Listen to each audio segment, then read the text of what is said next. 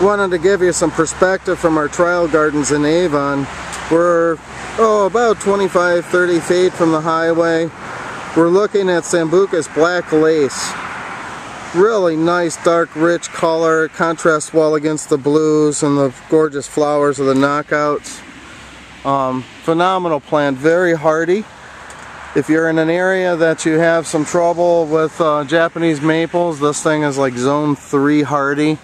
Um, it also has an added bonus. It has great contrasting bark as well as a flower to it. So it's a great uh, three season plant. As you can see, we're into almost the end of the first week of September and this one is still growing strong, offering a lot of nice color. I'm going to swing around to the back. There's another gorgeous plant I wanted to show you. And if you have not used this one, it's called Vitex. Vitex is uh, blooming typically from uh, the end of June through frost. As we can see here, this one is still going strong. In the trial gardens, it's bud and bloom. Will continue to bloom through frost. So this is Vitex.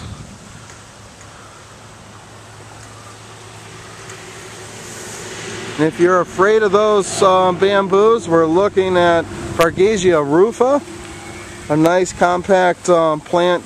This one is about uh, five years old. We're looking at a group of about three to five plants. Just wanted to show you that one. Adds really nice texture to the garden.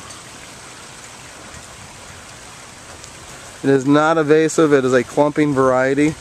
So the bamboo we're looking at is rufa. I'm going to swing around again to show you the gorgeous bloom of the Vitex. And also, contrasting in the back is Sambucus Black Lace. All three are some nice plants uh, that would bring some life and foliage and texture to any landscape.